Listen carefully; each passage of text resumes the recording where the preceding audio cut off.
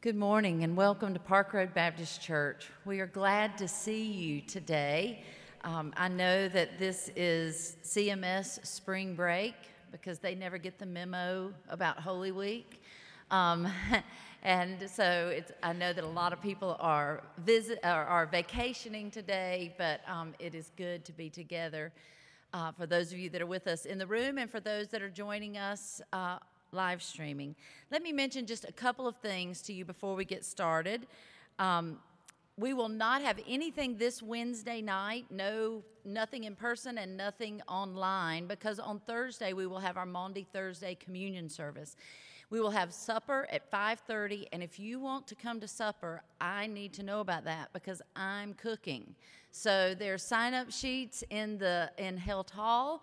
You can call the church office, you can text me, you can email me, you can see me today and just tell me, but don't tell me unless you see me write it down because I will not remember. Uh, but please sign up and join us for supper at 5.30 and then at 6 o'clock we'll be in milford chapel for our maundy thursday communion service. And then next sunday is easter sunday and there's still time to get easter lilies if you want to sign up to have an easter lily an Easter lily given in memory of or in honor of someone. There's sign up sheets in Helt Hall, or you can call the church office this week and let us know. We will print that in next week's bulletin, and then the lilies will cover the cross next Sunday. And then afterwards, there's an Easter egg hunt. So bring your baskets if you don't have baskets, we'll have Harris Teeter bags for you, and uh, eggs will be hidden, and you can immediately following worship find the candy filled, filled eggs next Sunday. And that's all I'm going to tell you about. It's just this week and next Sunday. There's a lot more going on in the life of the church. I hope you're reading the newsletter. Go online, go to the website, check out all the things that are happening for children, for youth, in mission, in ministry and find your way to plug in and get involved. But for now, take that deep breath and come into this room on this Palm Sunday morning that begins a holy week of reflection, contemplation, uh, the troubles and the travails, and then looking forward to resurrection good news next week. So let us worship God together in spirit and in truth.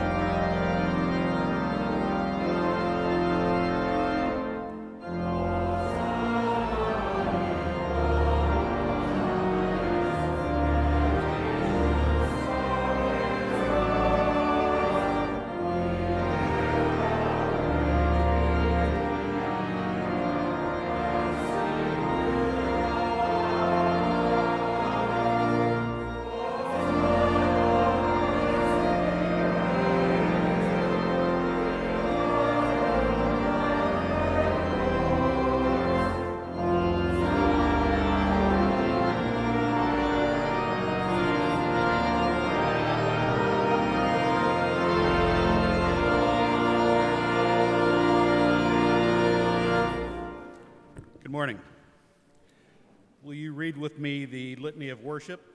Just to be clear, the biblical references are just that. You don't need to read that, just the bold words. Much of faith is in remembering. So let us remember the words spoken in the past. Remember the Sabbath day. Remember that you were slaves in Egypt. Remember the wonderful works God has done. Remember your Creator in the days of your youth. Remember the poor. Remember those in prison. Remember that we were at one time without Christ. Remember, Jesus said, I am with you always. Remember me, said the thief on the cross, when you come into your kingdom. Today, as we reflect on the events of that final week, let us remember what we received and heard. Hosanna. Blessed is the one who comes in the name of the Lord. Let us pray. Lord, in this season, we try to remember the words and actions of you and your Son, Jesus Christ. It can be difficult, difficult, Lord, in that the words and mores of the Bible are so foreign to our modern society. The writing can be strange and cryptic to us, everyday folk, and often requires interpretation by those who have made a life from the Word. It's part of why we come here to Park Road every week or so to hear your Word in our language. What I believe we do understand are the actions of your Son, our ultimate interpreter of your Word. In this place, we believe your way is to look inward but act outward. We think that contributing to our community not only helps those in need, but demonstrates your word to the world around us. We know that it helps us feel closer to you. As we remember and relate the acts of thousands of years ago, we hope that our emulating Jesus Christ will be remembered by our children, our grandchildren, and our associates. I remember well the act, kind acts of my parents and grandparents as they tried to walk the path, even these many years later. I am inspired by my friends here at Park Road Baptist to do good. Give us the strength of our convictions to help to keep all of your stories alive and relevant, and to create properly our own stories for future generations. Help us to understand your teachings as we pray the prayer that Jesus taught us. Our Father, who art in heaven, hallowed be thy name. Thy kingdom come, thy will be done, on earth as it is in heaven. Give us this day our daily bread, and forgive us our trespasses, as we forgive those who trespass against us. And lead us not into temptation, but deliver us from evil. For thine is the kingdom and the power and the glory forever. Amen.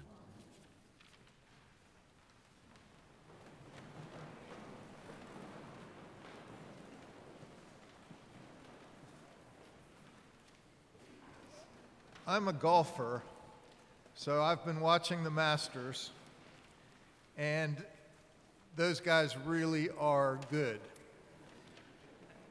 they hit a lot of tremendous shots, but every once in a while, you'll see one who hits a drive to the right or yanks it to the left, or they sometimes hit it into Rae's Creek, or occasionally even miss a three foot putt.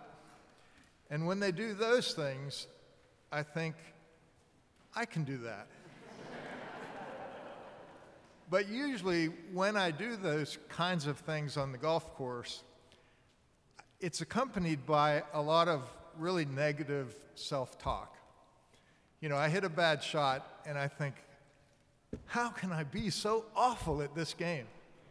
Or, gosh, I really stink. And that kind of negative self talk, I think, spills over for all of us, golfers or not, into different areas of our lives. You know, sometimes it's, I am so fat, or I am so out of shape, or why can't I be more patient? And we all have those sort of negative self talk tapes that run from time to time.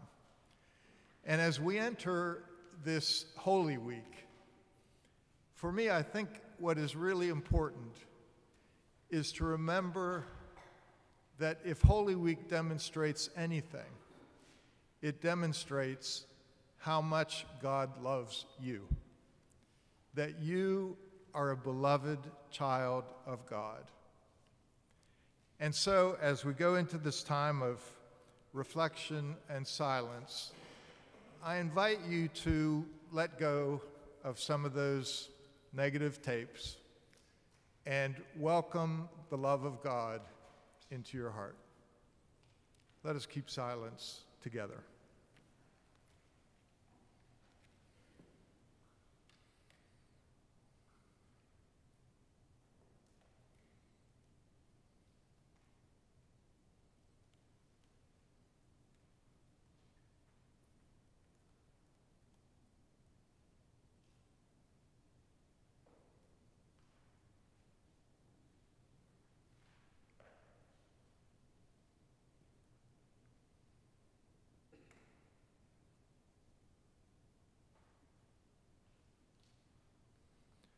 And now, would you say with me the words of our prayer of confession?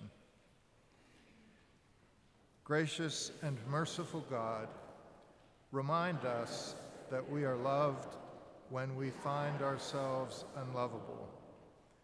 Remind us that there is hope when all we see around us makes us despair. Remind us that you are the merciful judge when injustice seems to prevail. Remind us that you give us all we need to do your work in the world. Remind us that you give us grace so that we can be your people. We confess our doubt and trust in your love. Help us to grow more and more into Christ's likeness that we may bear his love and truth to the world. In the name of Jesus, who brought us closer to you, we pray. Amen. You are God's beloved child. You are loved and you are forgiven. So be at peace.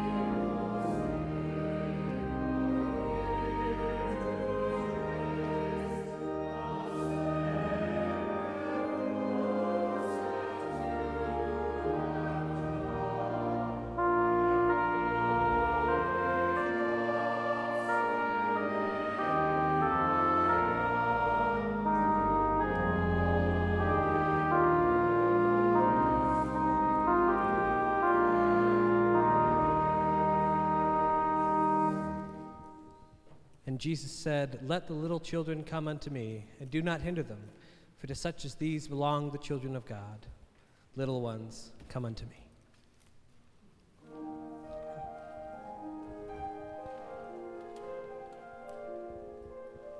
Holy,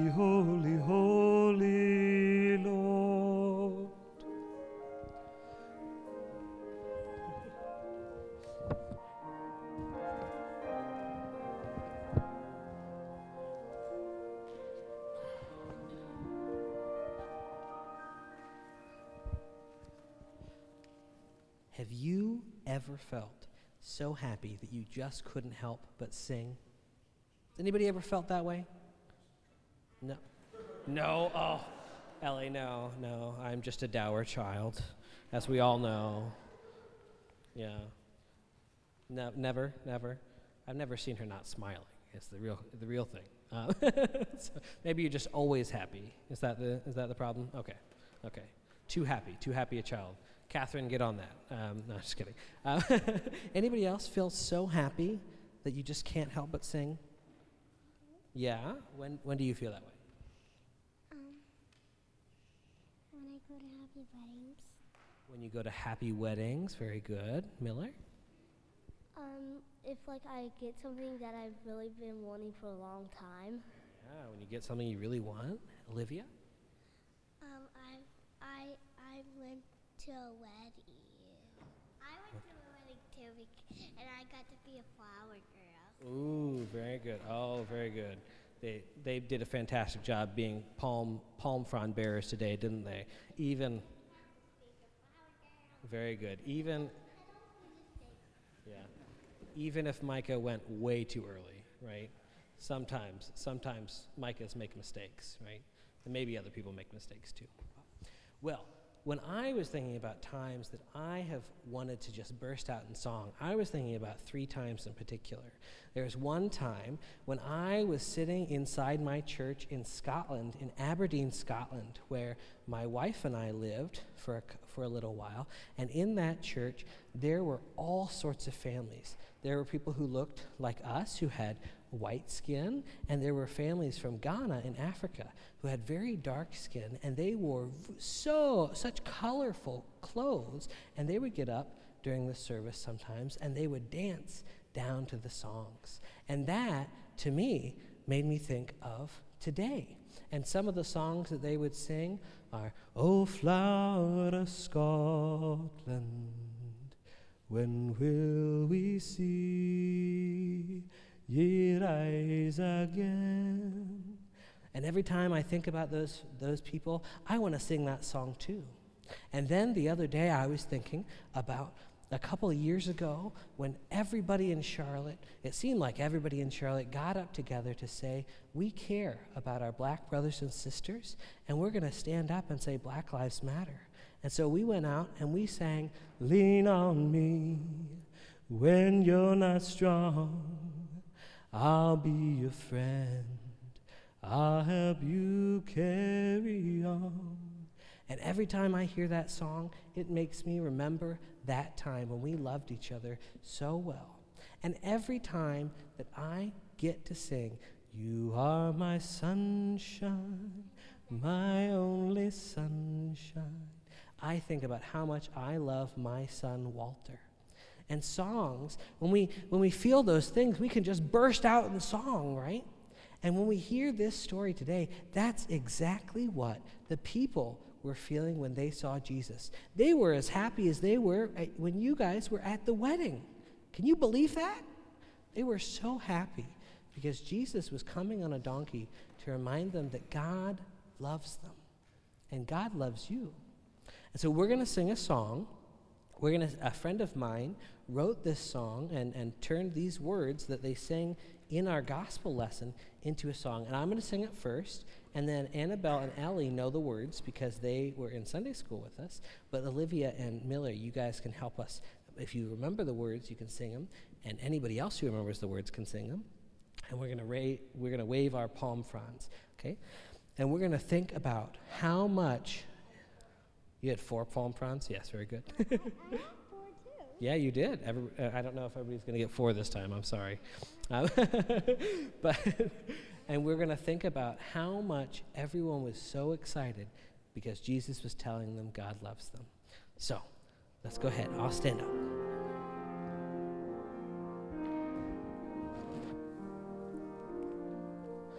Oh, holy, holy, holy Lord,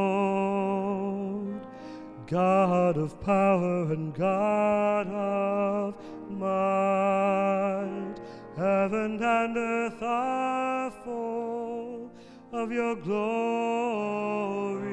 Hosanna, Hosanna.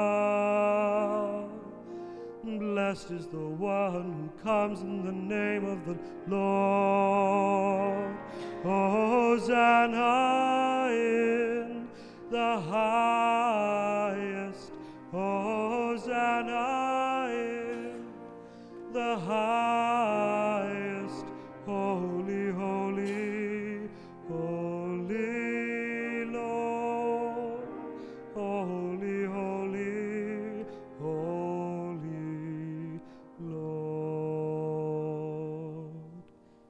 Sing that with me?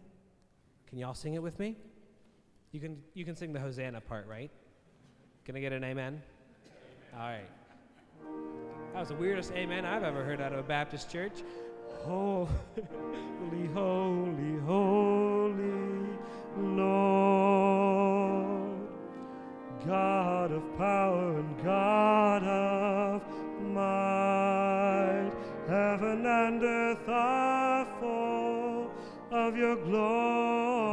glory. Hosanna, Hosanna. Blessed is the one who comes in the name of the Lord. Hosanna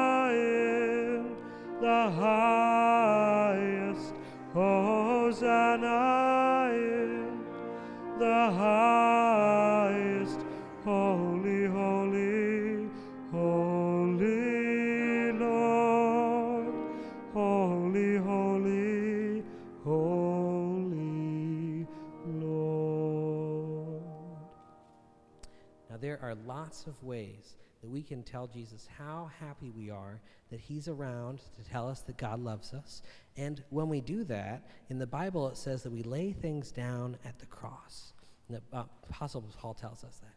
So we're going to take our palm fronds and we're going to go back and lay them at the cross to say thank you to Jesus.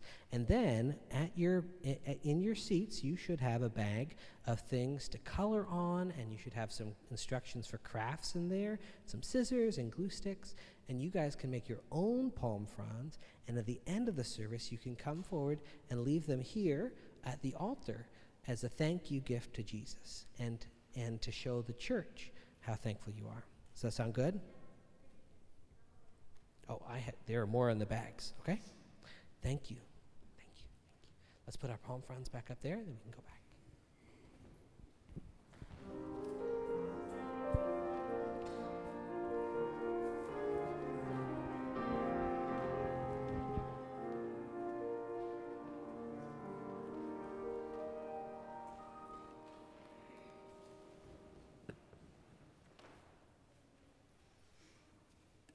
Think this text will mean more to us now that we've seen it.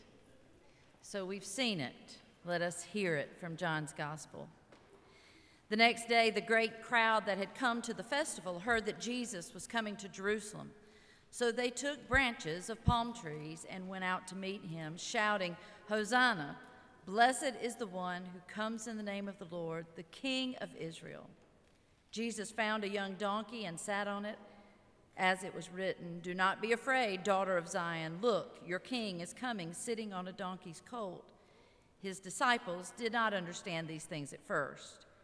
But when Jesus was glorified, when they remembered that these things had been written of him and had been done to him. You've heard the ancient story.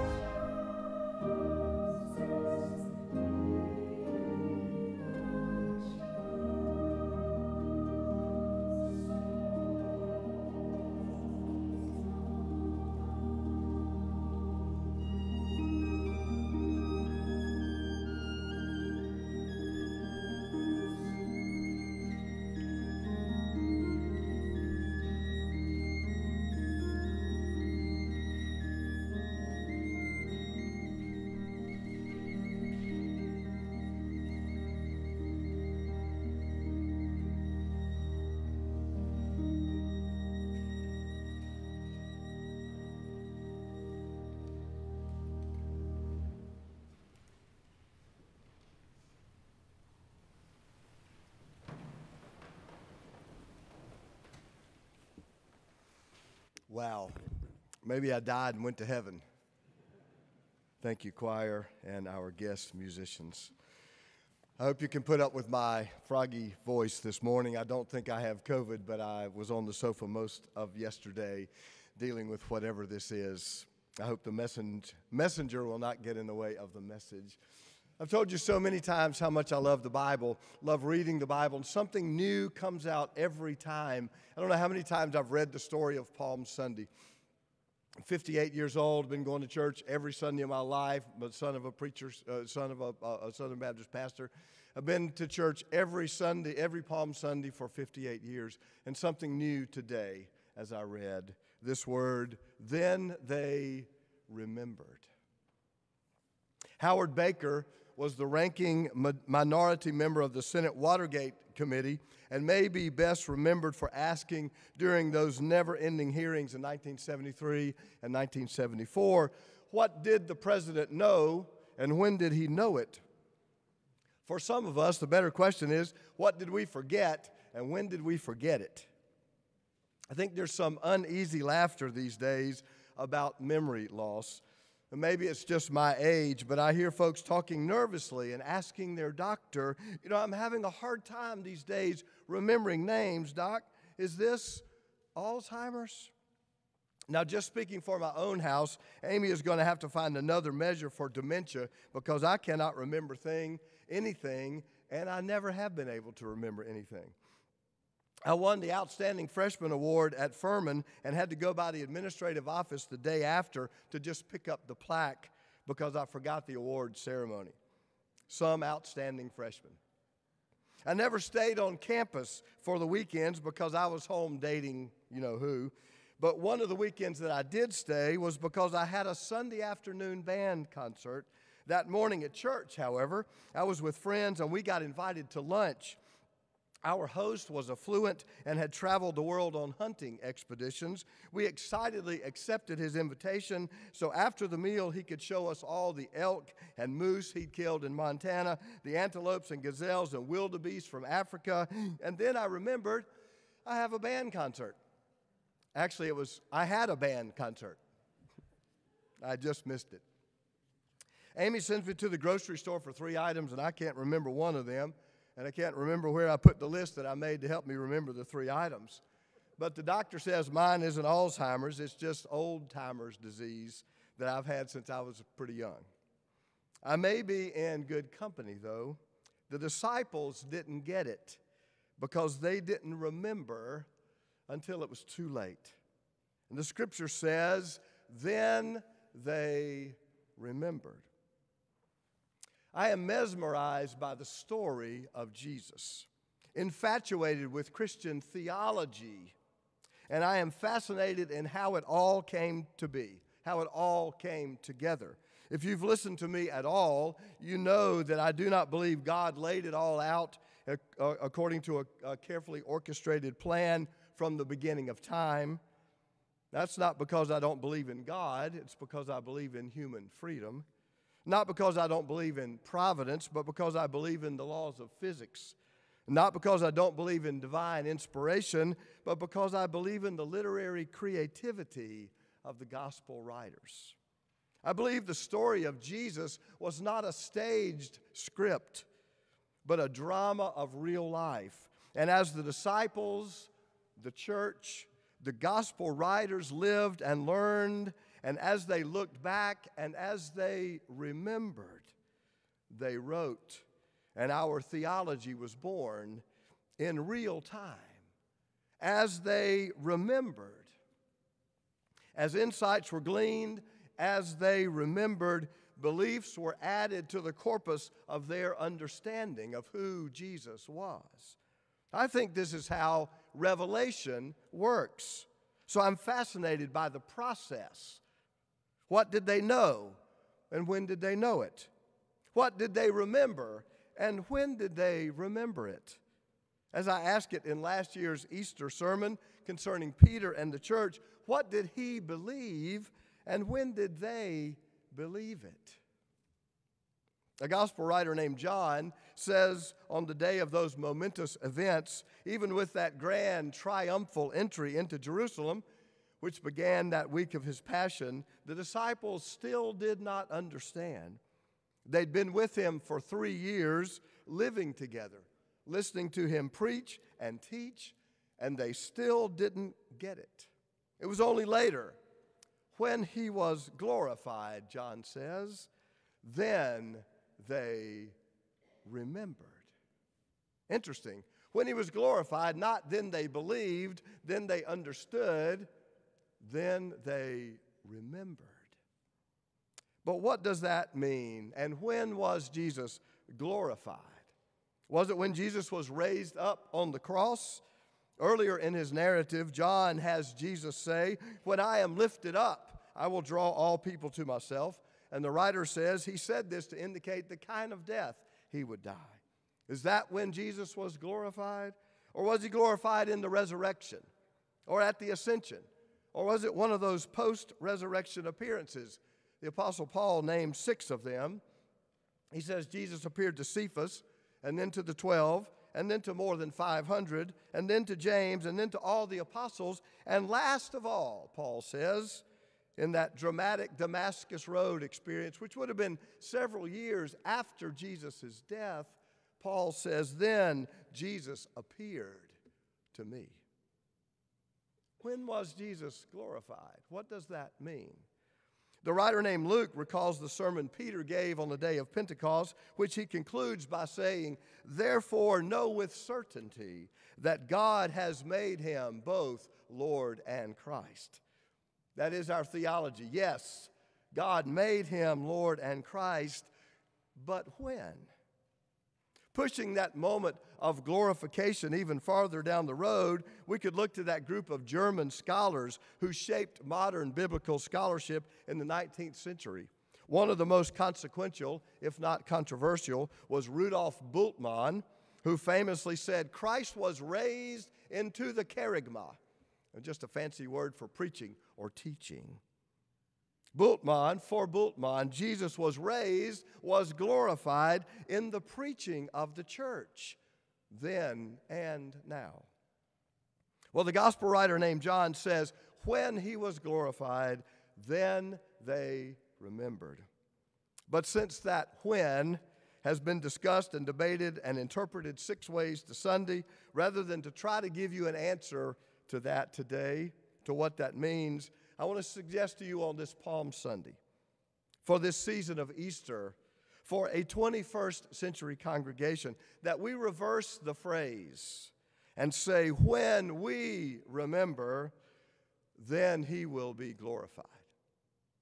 When we remember, then he will be glorified. The sermon is really that simple. What I want to say to you today is simply that we need to remember. We must remember. Engraved on the walls of the Holocaust Museum are the words that our Jewish friends keep reminding us, especially today with anti Semitism frightfully rising across the country and the globe. Those engraved words say, never forget. The word is essential to faith. Remember. We must remember first by knowing the story, which we learn best of all by reading the Bible for ourselves. How often do you read the Bible for yourself? We must remember by teaching the story to our children, boys and girls, here and at home. You need to let Micah teach you the story of Jesus with songs and crafts and games. You need to know the stories of the Bible. And youth, here and at home. I keep telling you that you need to know the Bible to pass any college level course in Western literature. Allusions to biblical stories are scattered across our literary tradition. You really need to know the stories of the Bible to understand Western literature. And, young people, you need to know because our church and the church rest on your shoulders. If you do not know the story of Jesus, if you, young people, cannot remember it for yourselves and for your children, the church will not survive beyond the current generation. They say the church is always one generation from extinction. Seems that that adage is truer today than it has been. with the decline of the church if our young people do not know the story, remember the story. If they are not determined to teach it to their children, we will not have youth group when you have children. It's up to you to be able to remember. We need to remember the story by singing the theology in good hymns and anthems. We need to remember by enacting the drama of the Easter season from Palm Sunday, waving the palms, to Maundy Thursday communion, to Easter Sunday fanfares. We must remember. The church must help a modern culture remember because Jesus changed the world. Simply put, Jesus changed the world.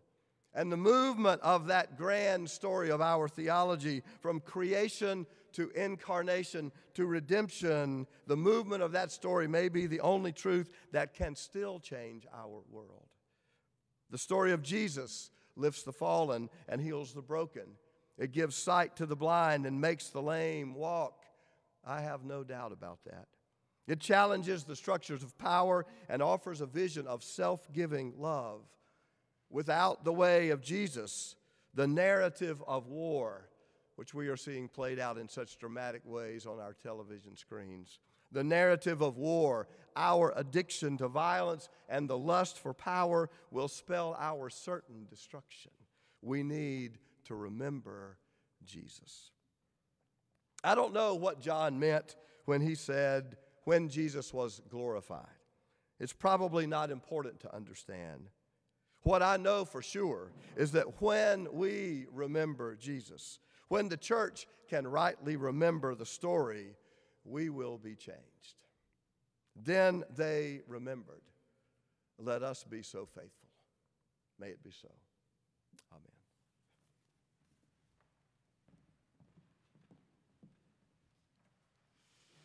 Let us pray.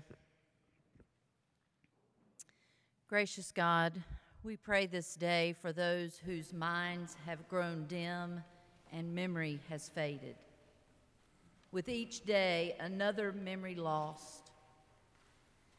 How devastating this must be to not remember so many milestone occasions that would bring so much joy.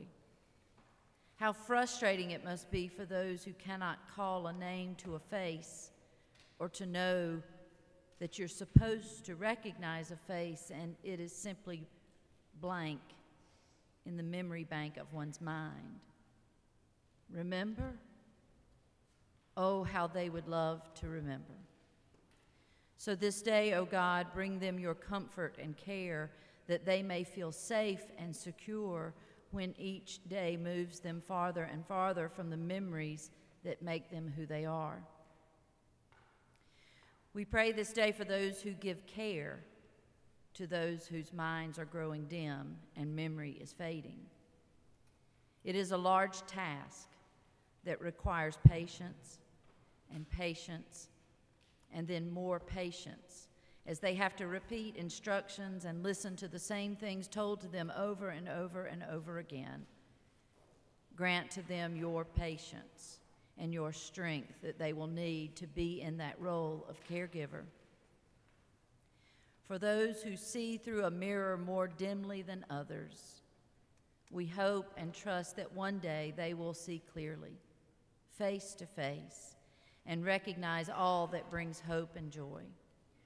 Until then, wrap them in your loving care and blessing.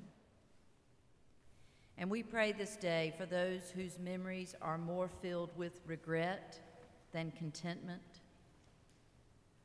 for those whose memories are more filled with trauma than happiness, for those whose memories are more filled with abuse than care, for those whose memories are more filled with sadness than joy, for those whose memories are more filled with guilt angst, failure, shame, tragedy, and despair than with hope, peace, joy, and love.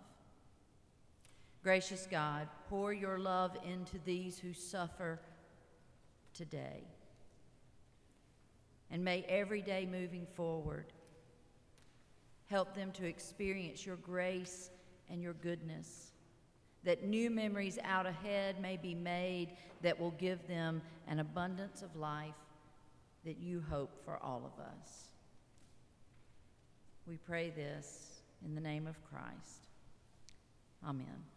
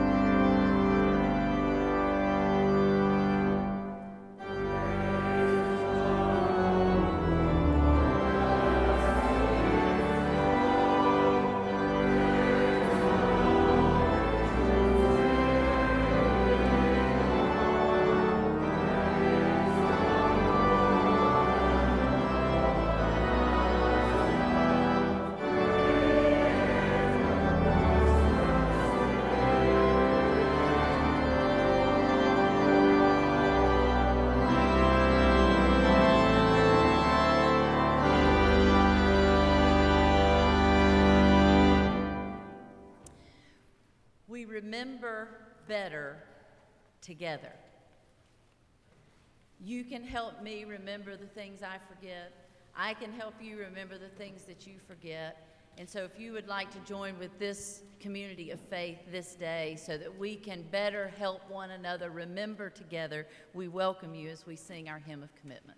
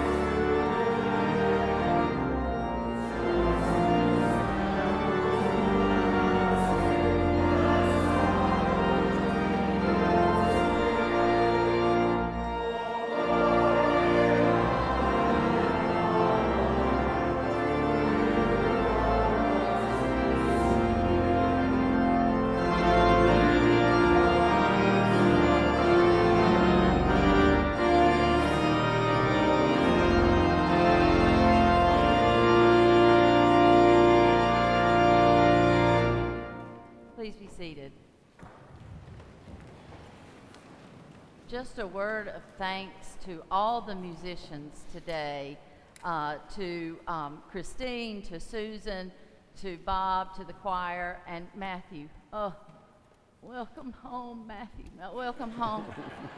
so good. It's so good.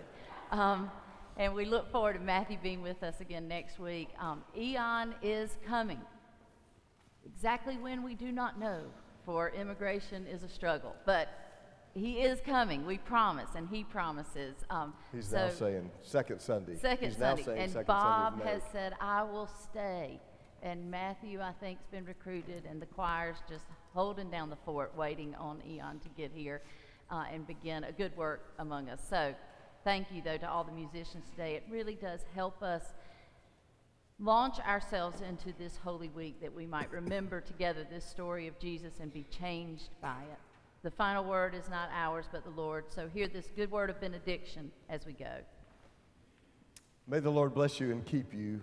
May God's face shine upon you, and may God be gracious to you, May God give you grace this day to love with all your heart, that you might do justice, to love with all your soul, that you might show mercy, to love with all your mind. that you might walk humbly with your God, As you go into the world this day, dear friends, love the Lord your God with all your strength. and love your neighbor as yourself. Mm-hmm.